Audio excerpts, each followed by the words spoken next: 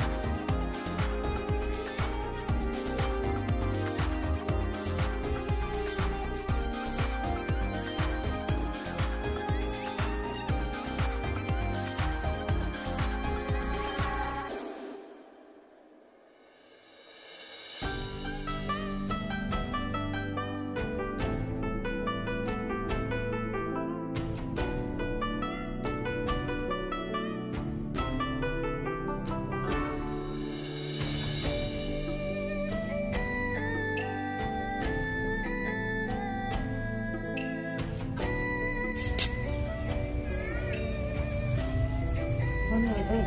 응? 이거 와가지고. 어, 오늘 왜 돼?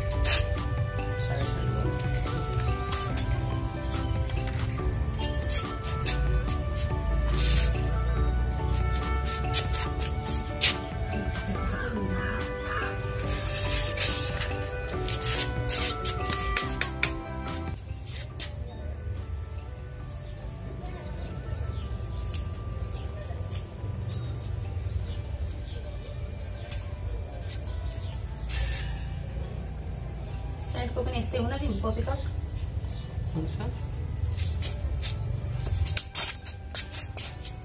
나무 맞아. 나무 맞아. 혼자 소리 못 내.